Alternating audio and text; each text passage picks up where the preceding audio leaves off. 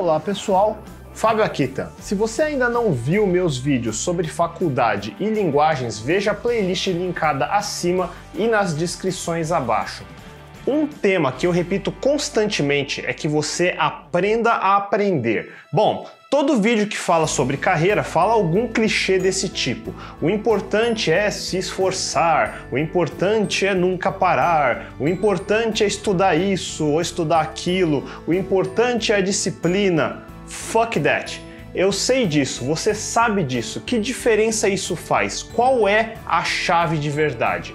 Se não ficou claro ainda, todos os meus vídeos mostram pequenos aspectos disso na prática. Daqui a algum tempo vocês vão poder ver todos os meus vídeos em sequência e vão ver que eles vão se encaixando. Mas hoje eu quero fazer uma pausa e contar uma história diferente. No ano passado, em 2017, eu fiquei numa discussão com o povo do escritório sobre talento.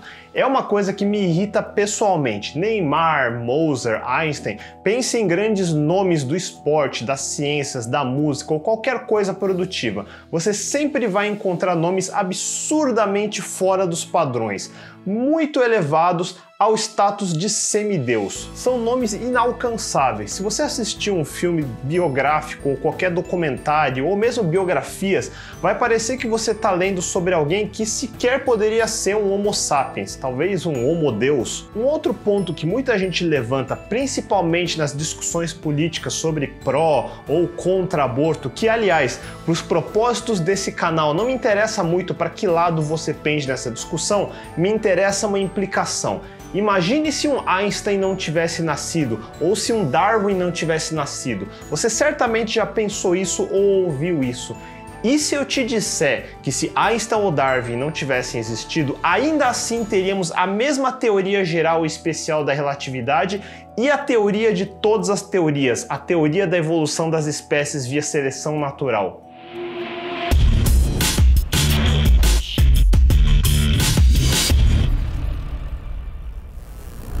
Este episódio é sobre o livro do físico Roger Schlafly, intitulado How Einstein Ruined Physics, ou Como Einstein Arruinou a Física, citando o artigo de Mark Green de 2012 para o site SOT.net. Vamos lá. Einstein é considerado o maior gênio do mundo por ter criado a teoria da relatividade. O livro de Schlafly explica sobre a relatividade, como ela foi descoberta e como ela se encaixa na longa história de tentar entender movimento e simetria. O livro mostra que o papel de Einstein é terrivelmente mal interpretado.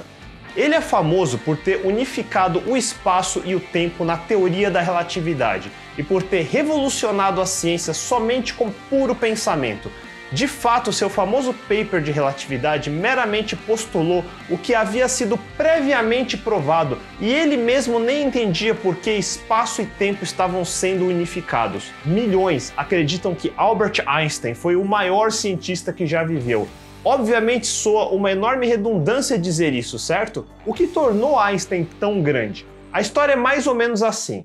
Albert Einstein, um jovem funcionário de um escritório suíço de patentes, sozinho transformou a física de uma ciência tridimensional estática para um incrível universo de espaço-tempo quadridimensional através de brilhantes e solitários experimentos de pensamento envolvendo gravidade, movimento, espaço e tempo. Einstein também fez incursões no entendimento da natureza da luz e energia e foi o primeiro a compreender a equivalência entre energia e massa. As descobertas de Einstein não só transformaram a física moderna, mas nossa visão de como vemos o universo. Schlafly discorda. É tudo um mito. Einstein não inventou a relatividade ou a maioria das coisas que lhe dão crédito. Uau, vocês estão entendendo isso? Relatividade é a culminação de uma procura antiga para entender o movimento da Terra. A história nos leva da Grécia Antiga, como Aristóteles, através de debates medievais sobre Copérnico e Galileu, até a procura recente por matéria negra e energia.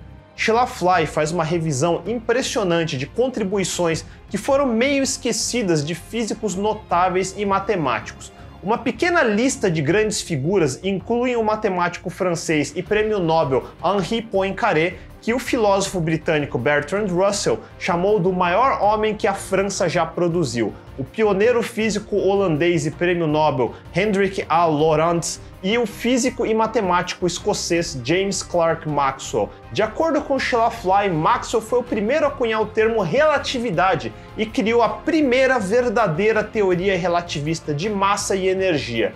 Maxwell escreveu o massivo dois volumes Treatise on Electricity and Electromagnetism em 1873, que na opinião de Sheila Fly gerou as mais importantes equações da história da ciência. O tratado subsequente de Poincaré sobre relatividade dá os teoremas que foram matematicamente idênticos aos de Einstein, diz Sheila Fly, e a maioria do trabalho de Poincaré precede Einstein. Lorentz e Poincaré tiveram todos os maiores aspectos da teoria da relatividade e publicaram antes de Einstein, diz ele. E mesmo assim, esses monstros da ciência foram quase totalmente esquecidos, enquanto a reputação de Einstein atingiu o status de semideus. Por quê?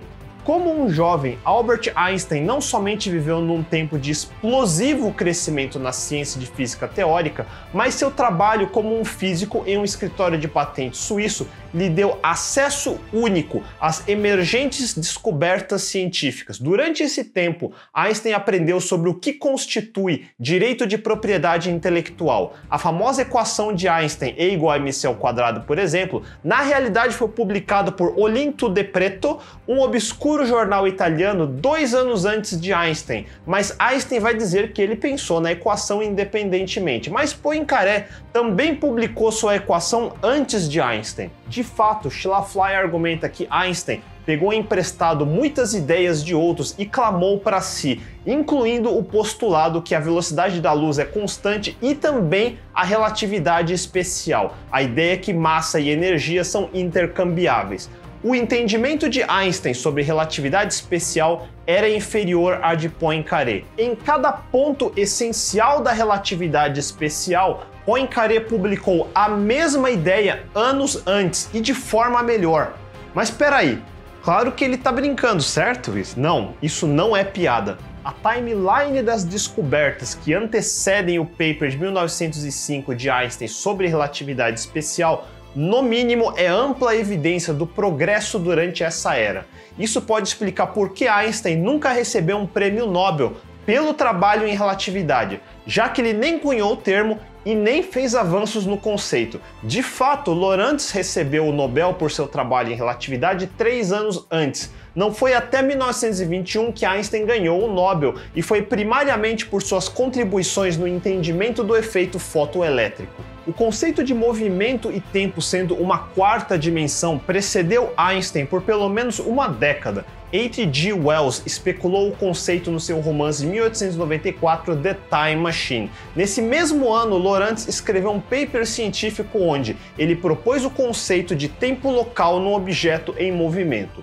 Poincaré escreveu um tratado em 1898 e 1900 explorando o relacionamento entre movimento e tempo. Uma popular bolha de desentendimento é sobre a equivalência de massa e energia, expressa na famosa equação E igual a mc ao quadrado. O relacionamento da equação com o projeto Manhattan na Segunda Grande Guerra é um exemplo desse desentendimento. E igual a mc ao quadrado não é sequer necessário para a bomba atômica. Ela não dá nenhuma pista em como dividir o átomo, ou como criar uma reação nuclear em cadeia, ou qualquer dos passos necessários para fazer a bomba atômica. Relatividade não é sequer necessário para entender a liberação de energia numa bomba de urânio ou plutônio, já que essa liberação pode ser amplamente explicada por considerações eletromagnéticas. Previsões sobre essa massa relativística estavam sendo testadas pelo alemão Walter Kaufmann em 1901, antes de Einstein escrever qualquer coisa a respeito. Ufa, essa história é bizarra, certo?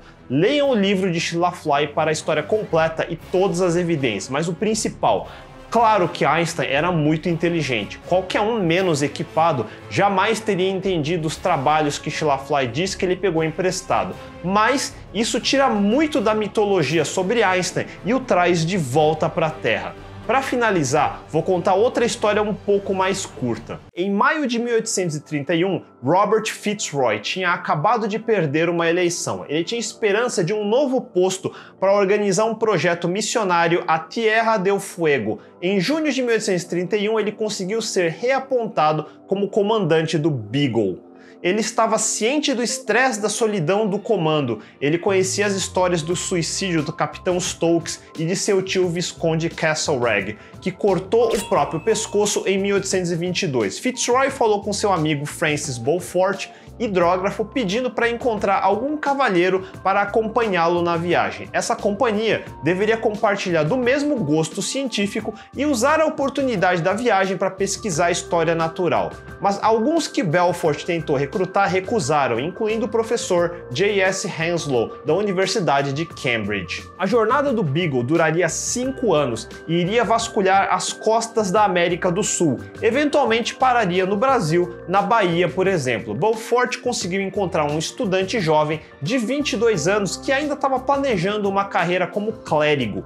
Fitzroy eventualmente aprovou esse jovem Charles Darwin para a posição.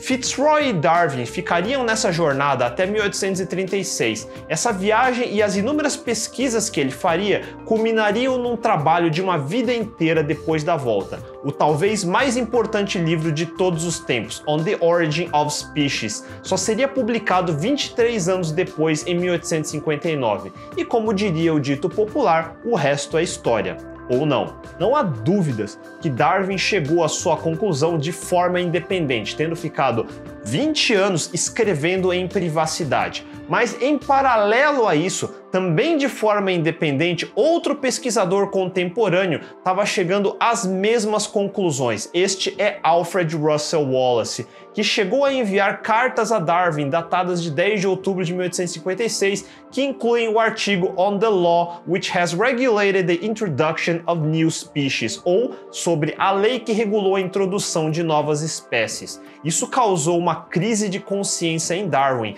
e o incentivou a acelerar a publicação das suas próprias pesquisas. Mas calma, nesse caso ninguém roubou a ideia de ninguém. E na prática, a versão de Darwin estava bem mais avançada. O próprio Wallace disse que sente que Darwin merece o crédito que recebeu. Na história recente, graças ao massivo acesso à informação, seja de boa ou má qualidade das redes sociais, por exemplo, Uh, vocês veem mais discussões acaloradas a respeito. Steve Jobs versus Steve Wozniak, Thomas Edison versus Nikola Tesla, ou até Bill Gates e Paul Allen. Quem é o verdadeiro gênio? Eu gosto de grandes histórias, tanto quanto qualquer um, mas eu encaro tudo como histórias. Toda história enaltece um personagem protagonista. Documentários também são histórias. A história formal deve ser desprovida de julgamento e relatar fatos, mas documentários e biografias contam uma história, um folclore, uma semificção, a visão pessoal do autor do documentário ou do autor da biografia. Lembre-se disso. Uma biografia não é um relato factual. Um livro de 400 páginas raramente vai ser suficiente para relatar todas as nuances de 60 anos ou mais da vida de alguém. Eu escrevi mais de duas mil páginas sobre mim mesmo e eu não sou ninguém. E mesmo se escrevesse mais 10 mil páginas, não seria suficiente. Biografias e documentários escolhem meia dúzia de eventos e amarram num folclore. É muito simplista. O problema disso, ao longo de décadas recontando e recontando a mesma história e reduzindo tudo em resenhas, um parágrafo aqui e ali, referências em filmes e cultura popular, e acabamos criando mitos e semideuses. Já diria Joseph Goebbels: se você contar uma mentira grande o suficiente e continuar repetindo ela, as pessoas eventualmente eventualmente vão começar a acreditar nela. Steve Jobs é nosso contemporâneo e ele já tem status de semideus. Resultados impressionantes é inegável, mas ele foi um homem do nosso tempo, longe de um semideus. Meu ponto é que a história real normalmente é bem menos glamurosa. Se Einstein ou Darwin não tivessem existido, ainda teríamos Poincaré, Lorentz, Wallace e outros contemporâneos que não estavam no lugar certo na hora certa. Conhecimento não é algo que nasce espontaneamente, magicamente, na cabeça de um único indivíduo. Normalmente é a consolidação de décadas ou séculos de pesquisas independentes, feitas por centenas ou milhares de pessoas ao longo da história. Alguém eventualmente consegue condensar esses trabalhos no momento eureka, e isso cria a ruptura para uma nova era. Se não fosse Darwin, seria Wallace ou outra pessoa completamente diferente em outro lugar, em outro ano, mas é impossível parar o conhecimento. Inovação nunca é o resultado do trabalho de uma pessoa isolada numa caverna. Inovação, genialidade, talento são apenas momentos numa história ininterrupta da humanidade que resolvemos apontar um nome e uma data para representar um momento de ruptura para uma nova era. O status de semideus não é inatingível, Algumas vezes é uma questão de serendípede, algumas vezes é uma questão de trabalho árduo, e no próximo episódio eu vou definir o que esse trabalho árduo realmente significa através de um livro do pesquisador Jeff Colvin, que aliás deixa uma frase que sumariza este episódio de seu livro Humans Are Underrated. O tipo certo de narrativa dita por uma pessoa é mais poderosa que a lógica. E o que acharam desse episódio? Vocês já tinham esse ponto de vista? Não deixem de mandar seus comentários abaixo. Se gostaram desse vídeo, mandem um joinha, assinem o canal e cliquem no sininho. A gente se vê, até mais!